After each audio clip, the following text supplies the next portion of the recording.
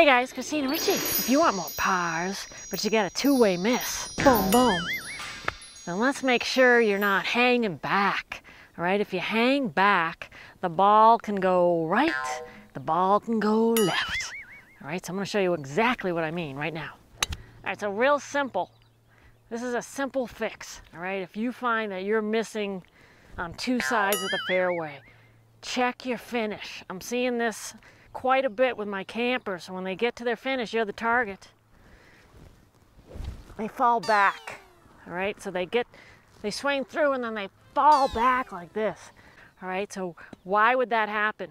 Most likely because you're coming a little bit over the top. Maybe you're not using your lower body. Maybe you're knee diving and you can't use your lower body. So then you try hard to swing through and you can't and you fall backwards. Or maybe you're a baseball player and you're used to hanging back. All right, so when you hang back, it elevates the shoulder, your torso falls back, and off the tee, it can leave the face wide open unless you flip it at the end. All right, so instead, you really got to get your pressure moving forward. So focus on getting to a strong lead side. All right, so make a couple practice swings and check your finish. All right, a lot of players that fall backwards, when I ask them to get to a full finish, where they get the heel away, all right, end up, heel away is where the heel is away. That helps you get your belt line way over here. Say hello to 10, 15 more yards just doing that. But what ends up happening is they're bent with the front leg, so the front leg isn't strong. All right, so you end up falling backwards because you don't have any leverage and support.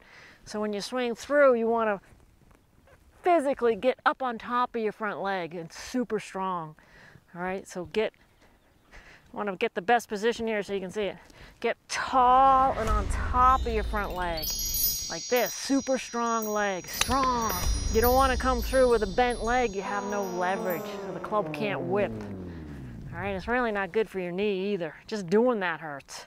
All right, so I like to say on the backswing, your trail leg is a stabilizer, and then on the downswing, your lead leg is a stabilizer.